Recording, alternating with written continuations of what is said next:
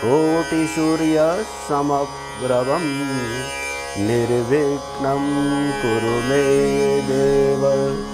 सर्वकार्येषु सर्वदा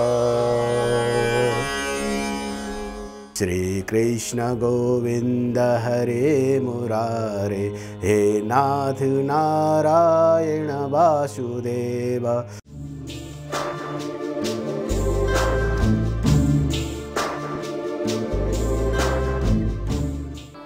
यसै आरतीका साथ शुभम भविष्यबाट म ज्योतिष दामोदरम यहाँहरूलाई हार्दिक स्वागत अभिवादन गर्दछु।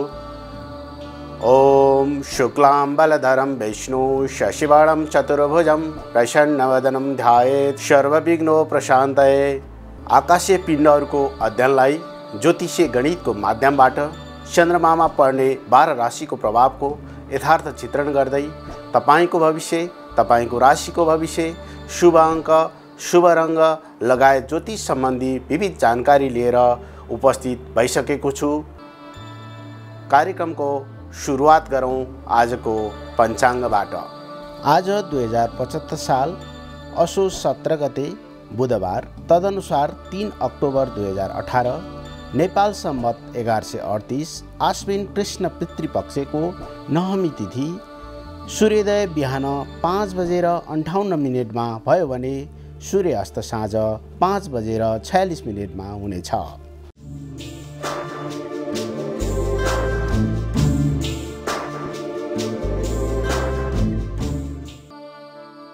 मेष राशि तृतीय भावको चन्द्रमाले सासमा वृद्धि हुनेछ बलवान भइने योग रहेको छ बोलीमा माधुर्यता हुनाले मनमा शान्ति रहनेछ आजको शुभ अङ्क सात रहेको छ भने शुभ रङ्ग बैजनी। वृष राशि। द्वितीय भावको चन्द्रमाले धन सञ्चय हुनेछ प्रेम प्रस्ताव आउन सक्नेछ नातेदारबाट धन आगमन हुने योग रहेको छ आजको शुभ अङ्क पाँच रहेको छ भने शुभ रङ्ग हरियो।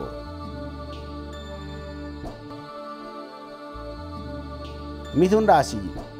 प्रथम भावको चन्द्रमाले चलाक तथा उत्साही भइनेछ कार्य गर्ने क्षमतामा वृद्धि हुनेछ महत्त्वकाङ्क्षा वृद्धि हुने योग रहेको छ। आजको शुभ अङ्क आठ रहेको छ भने शुभ रङ्ग सेतो।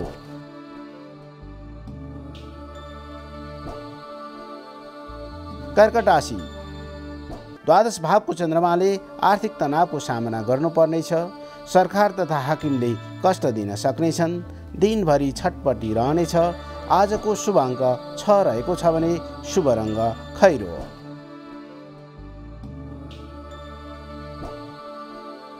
सिंह राशि। एकादश भावको चन्द्रमाले आर्थिक लाभ हुने योग रहेको छ सफलता प्राप्त हुने योग रहेको छ सन्तान सुख प्राप्त हुनेछ आजको शुभ अङ्क एक रहेको छ भने शुभ रङ्ग हल्का पहेँलो।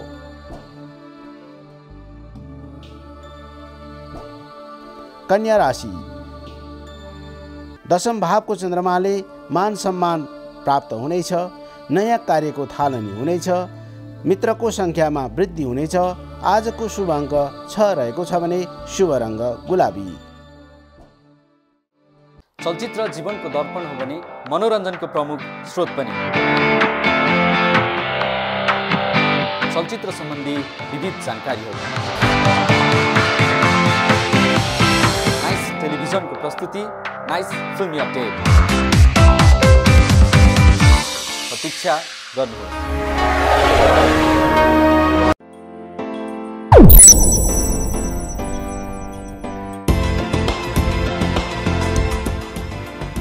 सन्तुलित आहार नै दीर्घायु जीवनको मूल आधार हो।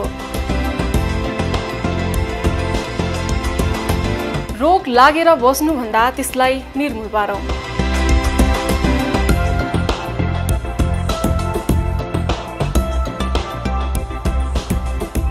स्वास्थ्यसँग सम्बन्धित सम्पूर्ण जानकारी तथा गतिविधिहरू।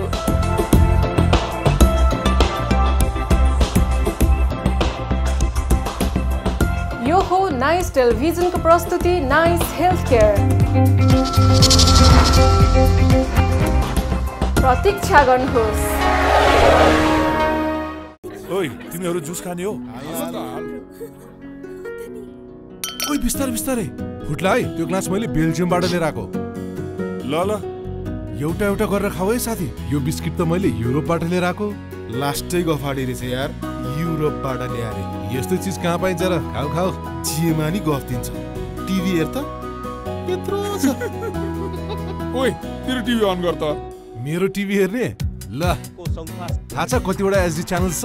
पैँसठी भन्दा बढी। डिजिटलको त कुरै नगरौँ। दुई सय पन्ध्र भन्दा बढी छ। यसमा इन्टरनेट पनि छ नि। हँ? मेरोमा त यस्तो आउँदैन त। कुन टिभी हो तेरो? यो तेरो टिभी होइन। मेरो टिभी हो। मेरो टिभीको निशुल्क एचडी सेटअप बक्स लगाऊ। टिभीलाई डिजिटल बनाऊ। साथै इन्टरनेट सेवा र आफ्नै मनोरञ्जनात्मक च्यानल्सहरूको मजा लिऊ। मेरो टिभी टिभी हेराइको छुट्टै मजा देशका प्रमुख सहरहरूमा उपलब्ध छ। डाँडैको देवी देउराली बजाउँदै झरे है ओराली मै बस्छु सम्झी झल्झली। जीवनका सुसेलीसँगै गुन्जने हाम्रा वनपाखाहरू। यिनै वनपाखाका सुस्केराहरूको सङ्गालो। गाम्बेसीका भाकाहरू।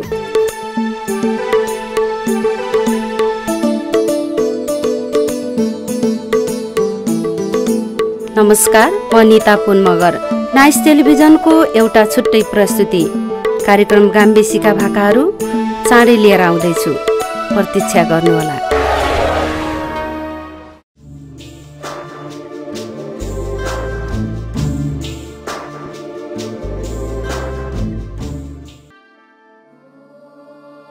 तुला राशि। नौ भावको चन्द्रमाले भाग्य उदय हुनेछ तीर्थयात्राको सम्भावना रहेको छ। प्रसिद्ध हुने योग रहेको छ। आजको शुभ अङ्क छ रहेको छ भने शुभ रङ्ग हल्का निलो।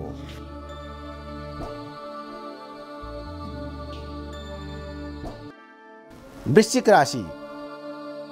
अष्टम भावको चन्द्रमाले चोटपटक तथा दुर्घटना हुन सक्नेछ आँखामा पीडा उत्पन्न हुनेछ मानसिक तनावको सामना गर्नुपर्नेछ। आजको शुभ अङ्क तिन रहेको छ भने शुभ रङ्ग निलो।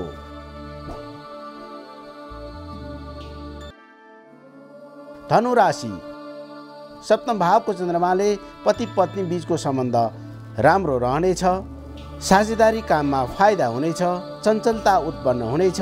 आजको शुभ अङ्क दुई रहेको छ भने शुभ रङ्ग रातो मकर राशि।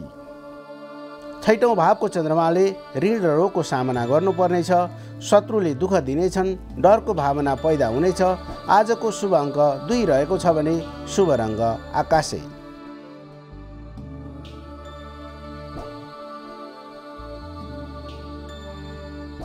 कुम्भ राशि। पञ्चम भावको चन्द्रमाले स्वास्थ्य राम्रो रहनेछ शिक्षा क्षेत्रमा सफलता प्राप्त होला मानसिक समस्या हुन सक्नेछ। आजको शुभ अङ्क एक रहेको छ भने शुभ रङ्ग चाँदी।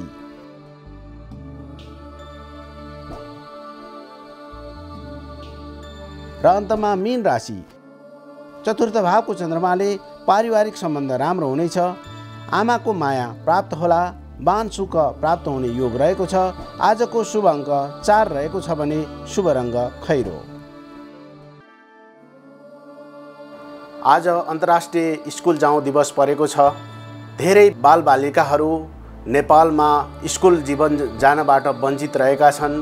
राजा वीरेन्द्रले शिक्षाको उज्यालो घामबाट कोही पनि बालबालिका वञ्चित हुन नपरोस् भन्ने महावाणी प्रदान गरी शिक्षाको विभिन्न कार्यक्रमहरू सुरु गर्नुभएको थियो र यो कार्यक्रम आजसम्म पनि निरन्तरता छ र शिक्षाको उज्यालो घामबाट कुनै पनि बालबालिका वञ्चित हुन नपरोस् र सम्पूर्ण नेपालीहरूले शिक्षाको उज्यालो घाम प्राप्त गरून् भन्ने कामना नाइस टेलिभिजन परिवार यहाँहरू सम्पूर्णलाई गर्दछ।